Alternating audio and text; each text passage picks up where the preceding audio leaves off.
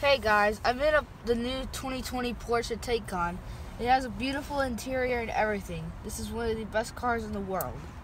And it has a very fast acceleration.